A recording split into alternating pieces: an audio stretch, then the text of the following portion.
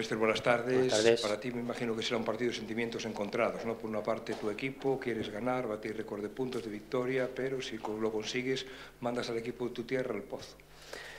Bueno, al final yo creo que no sea, no creo que sea el Club Deportivo Lugo o Francisco el que mande a, a la Almería al pozo. Al final esto es muy largo y, y bueno, y hoy está cada uno donde debe estar y mañana después del partido cada uno estará donde, donde debe estar, ¿no? Eh, como bien dice, nosotros llevamos un mes prácticamente eh, compitiendo sin ninguna eh, necesidad de la clasificación y bueno, y el equipo ha competido siempre todos los partidos.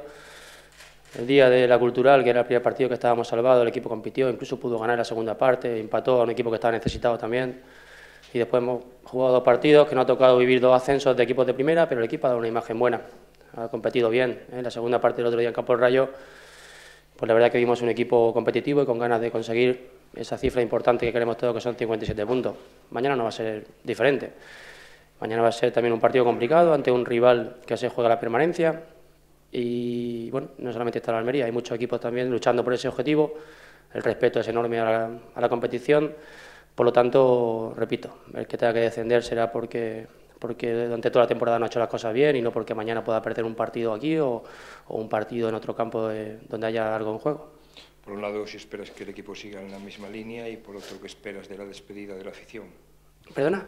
¿Qué esperas de la despedida de la afición después de toda la temporada? Sí, bueno, todos sabemos, la temporada se nos ha hecho bastante larga y somos realistas. Eh, acabo de decir ahora mismo que hace un mes prácticamente el equipo dejó de competir por, por un puesto de clasificación o por esos seis primeros puestos que todos soñábamos en, en diciembre.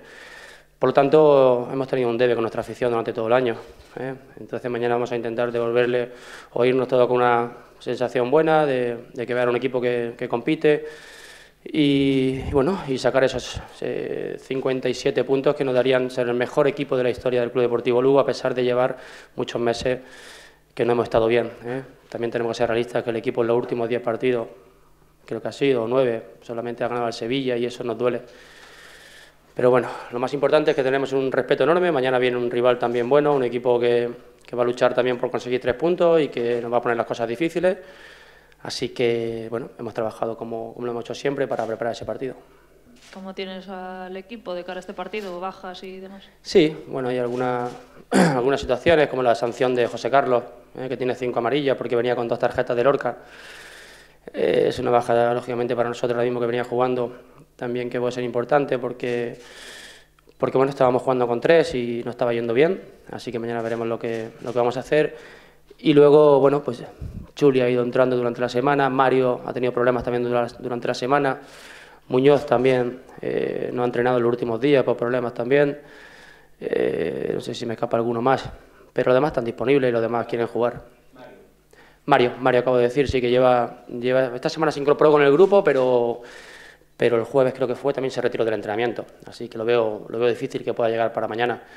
Ahora tenemos nuestro último entrenamiento y decidiremos, pero, pero los que estén van a estar bien y van a competir y vamos a intentar hacer un buen partido. Juan Carlos hizo muy buena temporada bajo palos, eh, Roberto también y ha tenido un día muy emotivo. Sé que no te gusta dar pistas, pero ¿a sí. le vas a dar el último partido? No, no, Juan Carlos. Sí, sí, bueno, él lo sabe, lo sabe, perdón, lo sabe Juan, lo sabe Juan Carlos, quien va a jugar en este caso, que va a ser Roberto. ¿eh? Disculpar. Pero han sido tantas veces las que he dicho Juan Carlos, Juan Carlos, Juan Carlos, las alineaciones, que yo creo que se merece Roberto, lógicamente, jugar estos cuatro partidos, pasar esa barrera de los 400. ¿eh? Esta mañana ha sido una mañana emotiva para todos nosotros, hemos querido estar con él, como vosotros también, y, se merece ese premio de jugar, de, como él decía, intentar divertirse, intentar irse con buenas sensaciones y, y hacer una despedida como él merece. Así que mañana, lógicamente, jugará Roberto.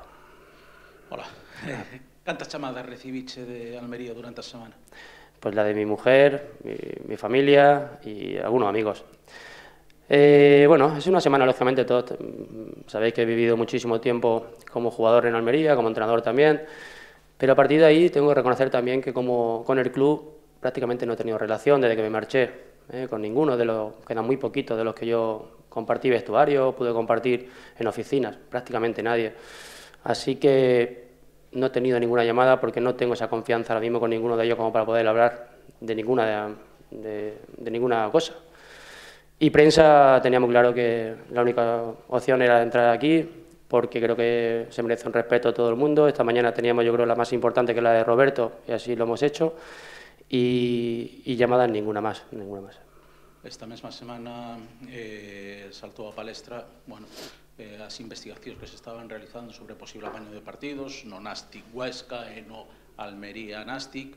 Eh, non sei se si este tipo de investigacións que se están levando a cabo si van condicionar a túa alineación de mañá Si no, no, no, yo siempre, lo podíamos haber dicho la semana pasada, cuando jugamos con el Rayo, con el Huesca, van a jugar los mejores, van a jugar los que yo considero que están para ganar mañana, como lo he hecho estos tres últimos partidos.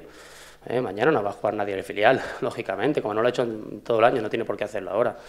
Nosotros somos profesionales y hay mucho por lo que luchar, hay muchos equipos pendientes del partido y nosotros, como a mí me gustaría, mirar, yo el año pasado estaba en una situación igual. La última jornada mi equipo se jugaba el descenso, el Almería también, por cierto, estaba en esa situación el año pasado. La última jornada se jugaba el descenso. Ellos ganaron, mi equipo perdió y yo me fui a Segunda División B.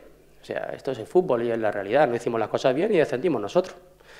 Eh, no sé qué le va a pasar mañana, pero es una desgracia que le pase porque verdaderamente es duro. Pero no es culpa del equipo con el que se enfrenta, es culpa de, del equipo que, que desciende, que le ha hecho las cosas bien.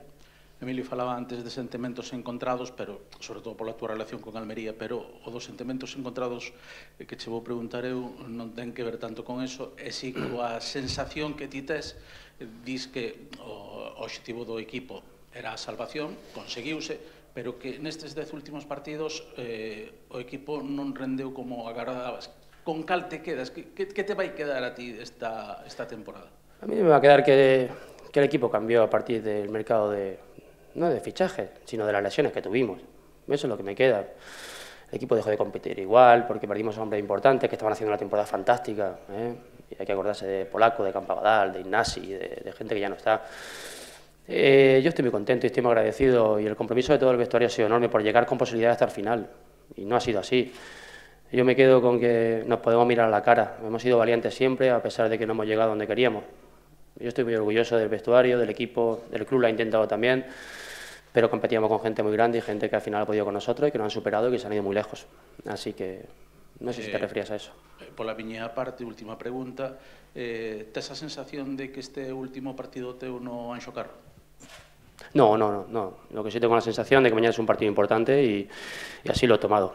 Eh, lógicamente, mañana termina la temporada y, y bueno, y después de ahí hablaremos, el presidente y yo, lógicamente sabemos los dos lo que queremos eh, y en eso estamos seguros. Así que a partir de, después del partido de mañana, pues ya y nos iremos enterando de qué va a pasar.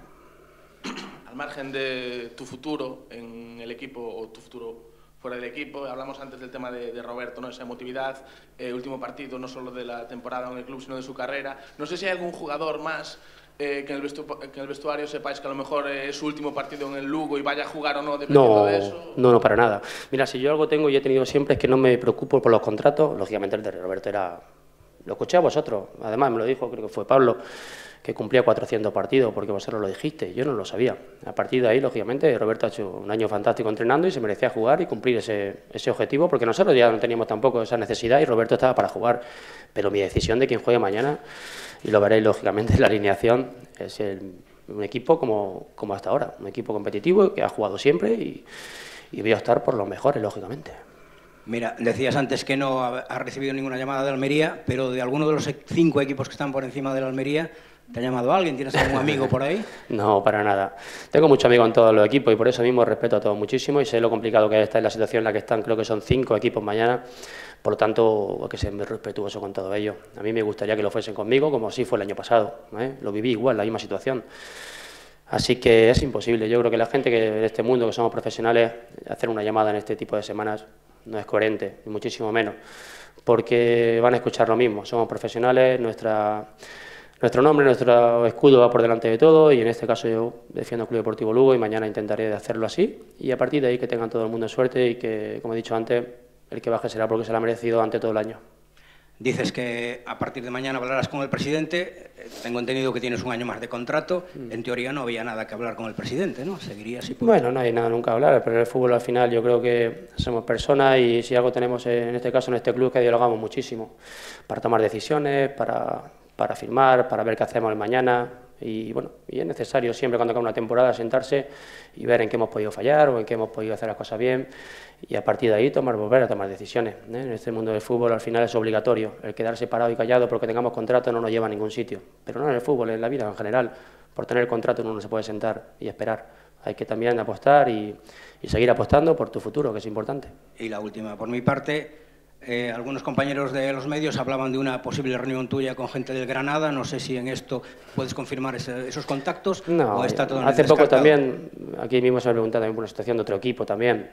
Es normal, la gente está buscando entrenadores. Eh, como tú bien has dicho antes, yo tengo contrato y el presidente sabe cuál es mi situación, yo sé cuál es la, que quiere el presidente y tomaremos esa decisión en breve, lógicamente, pero no porque tenga otro equipo para firmar, sino porque tenemos que ser valientes y tomar decisiones y ser ambiciosos y bueno, y lógicamente en esa decisión tenemos que ir de la mano, los dos.